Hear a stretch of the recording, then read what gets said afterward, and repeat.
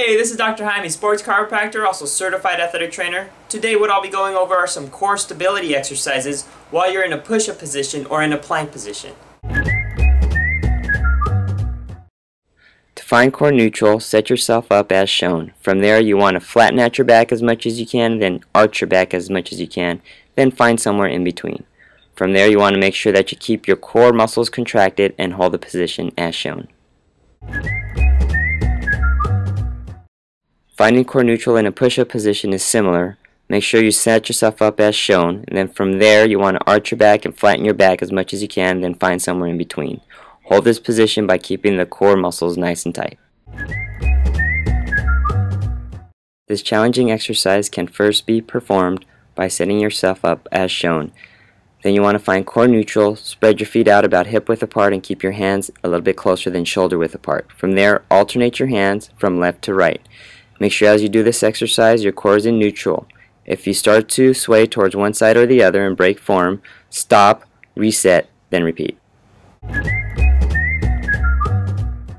With this particular exercise, first find core neutral. From there, keep your hands about shoulder width apart.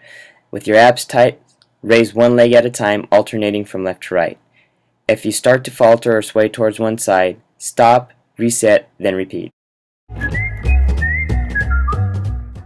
This exercise combos the last two protocols. First find core neutral, from there you want to raise up one arm and raise the opposite leg, alternating from left to right. This is a very challenging exercise, so if you find yourself breaking form, make sure you stop, reset, then repeat.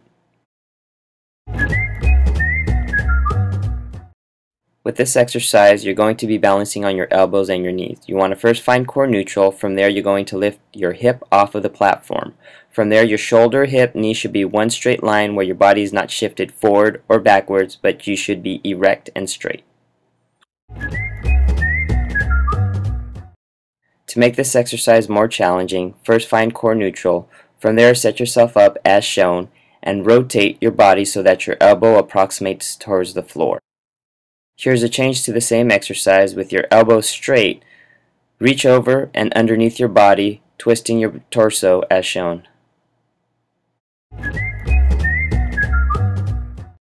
Those same exercises that were performed on your knee can also be performed with a staggered stance where one foot is in front of the other as shown. You can find core neutral and hold that static position you can find core neutral, place your hand on your head with your elbow bent and rotate your body as shown.